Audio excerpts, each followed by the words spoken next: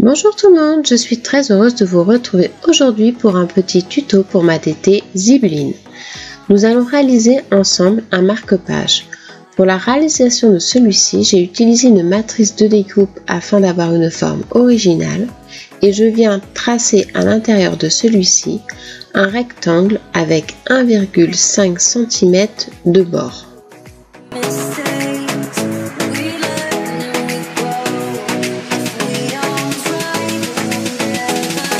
Ensuite, avec l'aide d'un cutter, je vais évider le centre. Ceci sera la fenêtre dans laquelle je vais pouvoir placer les petites perles de la marque Zibuline pour pouvoir créer un checker. Je gomme mes traces de marquage afin de ne pas voir les repères apparents. Et sur un deuxième papier, je vais pouvoir superposer ma fenêtre.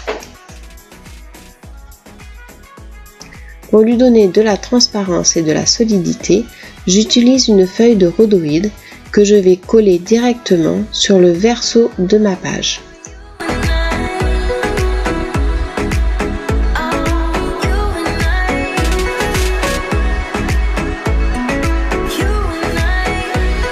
Ensuite, avec de l'aide à l'aide de la cartonnette de grille-pain pour l'occasion que j'ai récupéré sur des boîtes de petit déjeuner, je fais des bandes pour pouvoir faire un tour tout autour de ma fenêtre pour pouvoir donner une épaisseur à celle-ci afin que les petites perles que je vais intégrer à l'intérieur ne se collent pas sur le rhodoïde et la feuille du verso.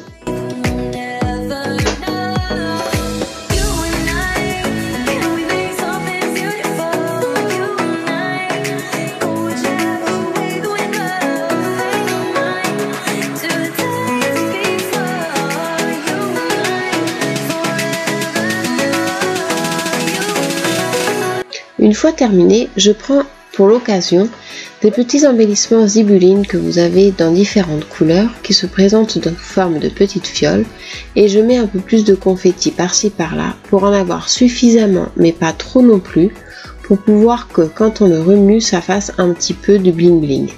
Je rajoute quelques séquins pour trancher dans la couleur.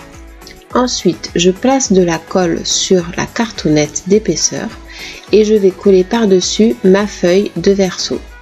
On peut, apercevoir pardon, que les petits brillants sont transparents avec la feuille de rhodoïde et tiennent très bien, ne vont pas s'enlever par rapport à la petite cartonnette que nous avons mis en dessous. Ensuite, j'embellis celui-ci avec différents embellissements Ici, j'utilise une petite breloque spéciale marque-page disponible sur la boutique de Zibuline. Ensuite, je fais un trou avec la crocodile pour pouvoir mettre un œillet et y passer une petite chaînette.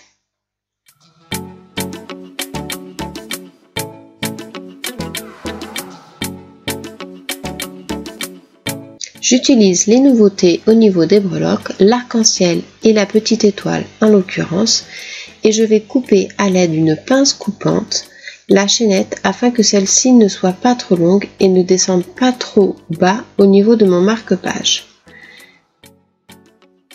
Ensuite, je cherche un emplacement pour placer mon cachet de cire. J'essaye de le mettre en bas ou en haut et puis finalement je prends la décision de le mettre sur un petit embellissement en carton euh, une petite matrice que j'ai découpée à l'aide de la Big Shot et je vais venir coller le cachet de cire directement dessus afin de faire comme une troisième petite breloque que je vais accrocher à la chaînette. Pour coller celui-ci, j'utilise mon pistolet à colle, mais celui-ci étant un petit peu trop gros, je coupe le bord de mon cachet de cire pour que celui-ci soit plus petit et rentre suffisamment au niveau de mon étiquette. Une fois mise en place, ça me fait comme une troisième breloque à suspendre au-dessus de mon marque-page.